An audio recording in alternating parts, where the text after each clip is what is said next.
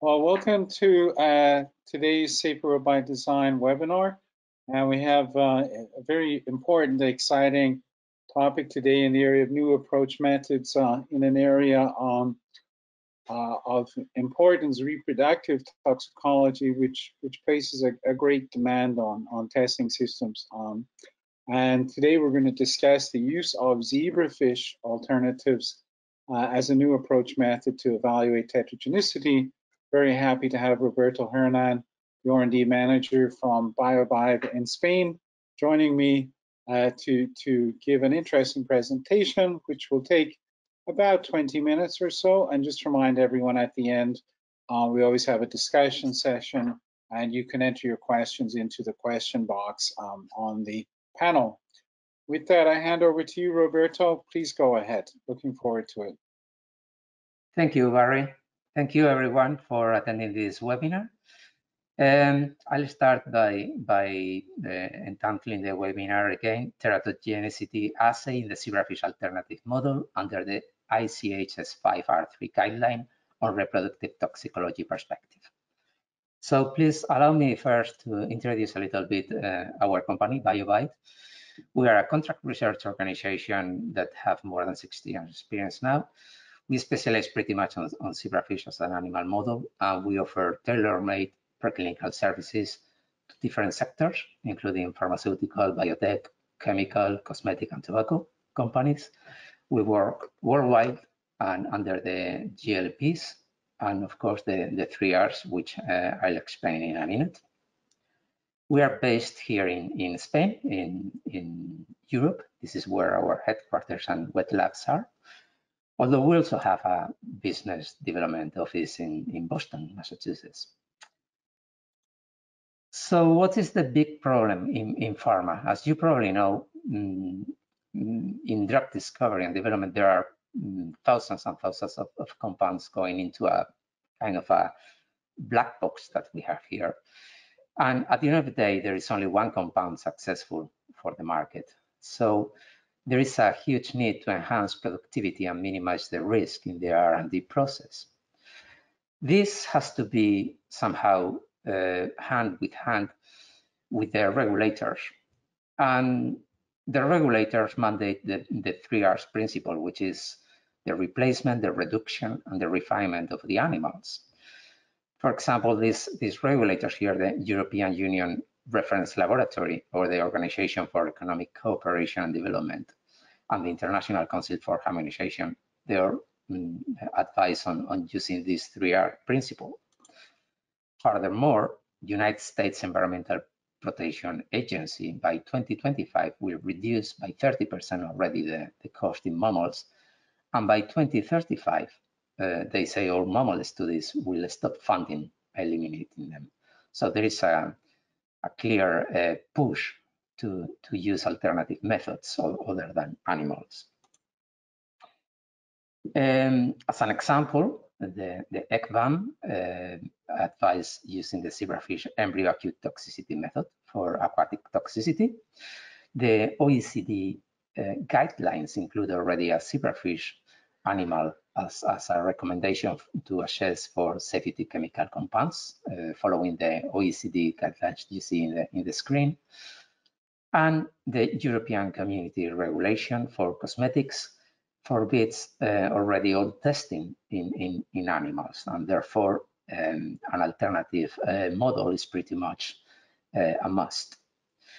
An important note to, to highlight here is that you might not know that uh, zebrafish embryo under the uh, European Directive uh, 10-2063 EU are not considered animals when they are under five days post-fertilization. That gives us uh, um, an opportunity to exploit this, this window, uh, which is an, an excellent uh, model for that. And so we have different alternative methods. All the way from in vitro to mammals, as you can see in this panel, uh, with different uh, parameters that uh, have a, a, cost increasing, as you can see from left to right. Uh, the cost is higher as we move uh, towards the mammals. The capacity, in other words, the throughput, which decreases is the other way around. There is a high throughput in in vitro assays, such as cells, for example, going down to momoles, which is a very low throughput for obvious reasons. And the biological relevance, uh, again, increases, having lowest relevance in in vitro models and highest in, in mammals, which are very close to humans, as you know. But if we want to frame this under the three R's, the replacement, reduction, and refinement, we have to move between in vitro models and zebrafish, including the, the cells, the flies, the C. elegans, and of course the zebrafish. As you can see, the zebrafish alternative model is the most balanced model in terms of cost efficiency, capacity of throughput, and biologic relevance. This can be seen here in this diagram as well, where we can see on the on the left bottom side of the of the diagram uh, um, low reproducibility biological uh, information, uh, manual in vitro screening. Okay, uh, it's time efficient, but uh, it's not. Sorry, it's not time efficient and it's not a biological complex method. The cells, for example, are automated, and, and that is an advantage. However, they are not a biological uh, complex process either. On the other opposite side, we have the, the mouse, we have the, the mammals, which are very uh, competent for, for studying complexity um, systems. However, the, the reproducibility and, and, productivity of this animal is, is, is uh, undermined. And therefore, on the, on the top here, we have a high throughput automated animal that can be automated with a biological complexity because it's a whole animal, it's not only a cell type. So um, we can we can see the advantages of this uh, of the zebrafish because the genetic homology with humans is high as well in terms of um, of diseases with, uh, related to, to humans, so more than 80% homology.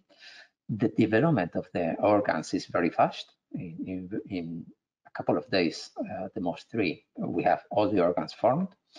The small size of these animals, especially when they are uh, embryos and larvae, uh, make them uh, screenable in well plates, like uh, um, 96 well plates, for example, like in cells. We have a high productivity of up to 300x per couple. The embryos are totally transparent, embryos and, and larvae as well, uh, and that makes us um, uh, make it a, an advantage to, to see what's going on inside the, inside the animal without having to sacrifice the fish. And of course, there is a low maintenance of, of, the, of these facilities.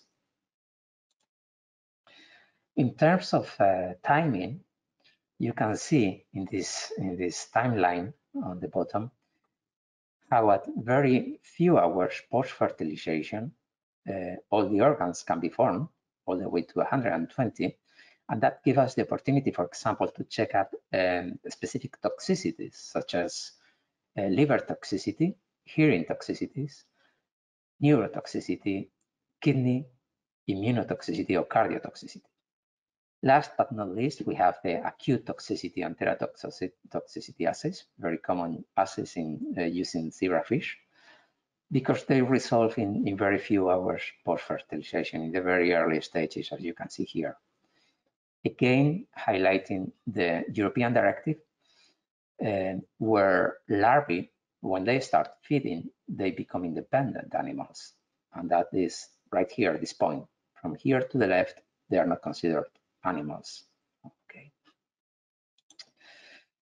So the International Council for Harmonization S5R3 guideline on reproductive toxicology proposed an alternative testing and, and provide us with a reference compound list that contains a total of 32 compounds, 29 compounds that were teratogenic for, for mice, and three negative compounds.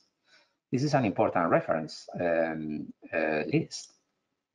And we, all we want to, to do is to translate the, the significance of, of this list that happen in, in teratogenicity uh, uh, compounds, teratogenic compounds, sorry, in mice, translated into zebrafish.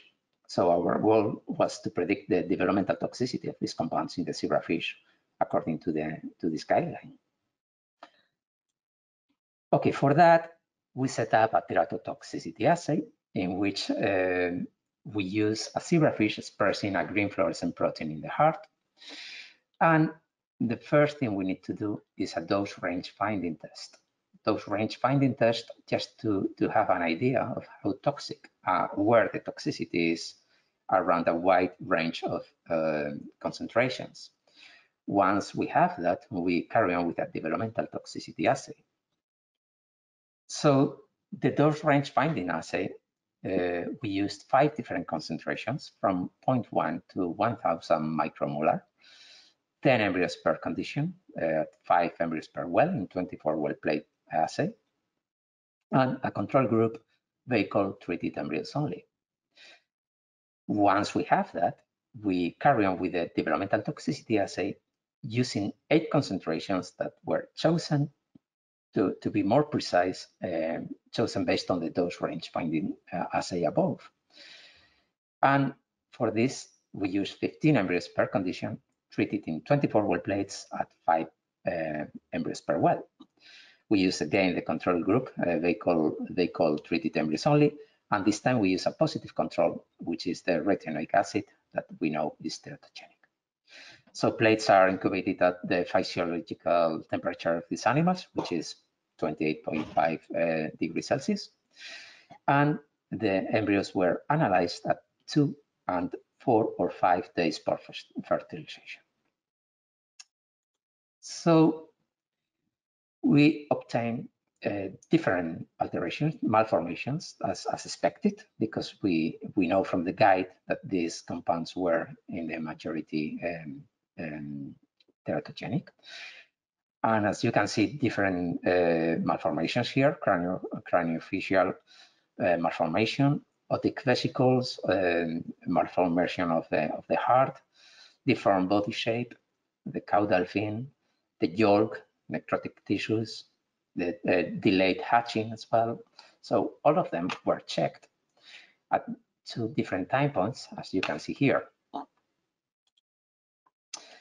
This is an example of just uh, one of the compounds and uh, where we could analyze the LC50 lethal, lethal, concentration 50 and they have maximum um, effective concentration 50 values, EC50. Okay, and based on these values, we obtain a teratogenic index calculated as the ratio between LC50 divided by EC50 for each time point. Uh, you can see here this this number, obtaining for this particular example of this compound, obtaining a teratogenic index above 13 in the day two and in the day four, 145. So based on previously uh, published results um, uh, papers, articles such as the Selders Labs, uh, and also in BioBite's internal validation that we carried on, BioBite proposes a cutoff of uh, the teratogenic index of 2. That means that uh, in this classification, we have uh, three possibilities. First of all, non-toxic, of course, uh, normal, uh, normal embryos that have no affect affectation whatsoever. But if the teratogenic index is 2 or above 2, there is a, uh, likely to be teratogenic, that compound. However, if, if it's below two, this teratogenic index, uh, it's gonna be toxic, but likely not teratogenic. So the higher the teratogenic index value, the higher the teratogenic potential. Here uh, we have just an example of a particular compound with the EC50 and LC50 calculated and at two different time points and obtaining a teratogenic index of 3 3.36 and 307 respectively for these time points. So this compound is likely to be teratogenic. Okay, these are some examples of the study that we obtained. As you can see, different teratogenic um, compounds here named on the right-hand side of the slide. Uh, the, the samples were, were run as, as the whole study in 96 well plates. And we can see the malformations, including the craniofacial malformations, the trunk malformations, and the pericardial edema as well.